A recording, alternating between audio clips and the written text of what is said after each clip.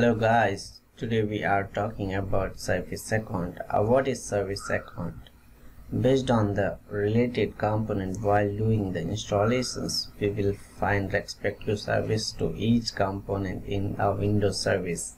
For example sql server sql server agent sql analysis service sql server integration service etc there will be a user for each and every service through through which each service will run.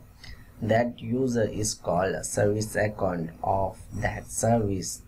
Mainly we categorize the service account as below. Local user account, local service account, uh, local system account, network service account, domain account. Uh, we will discuss about each and every service account briefly. First we, we are moving through local user account. What is local user account? Uh, this user account is created in the server where sql server is installed.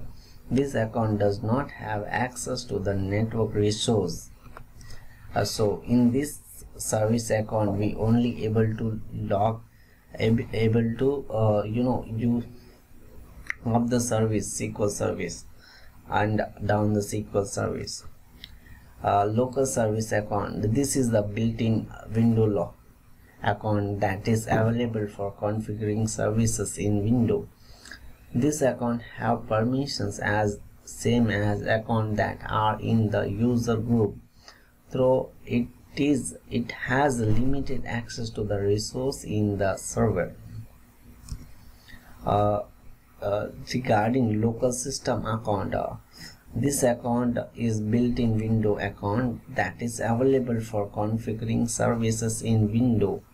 This is highly privileged account that has access to all resources in the server within administrator rights uh, moving to network service account this is a built-in window account that is available for configuring services in windows this has a permission to access resource in the network under the computer account.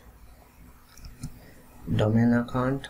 Dom this account is a part of our domain that has access to a network resource for which it is intended to have permission. This is always advised to run SQL servers under related service account under a domain account with minimum privilege need to run SQL Server and its related services.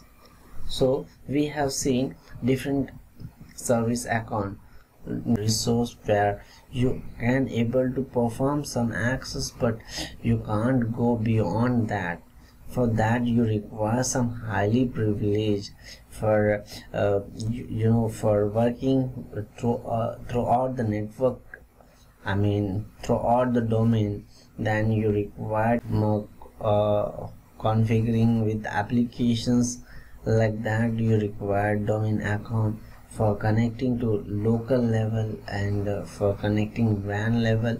Uh, this network service account and local user account is in it so today we have discussed about service account and hope you enjoy. Uh, please subscribe my channel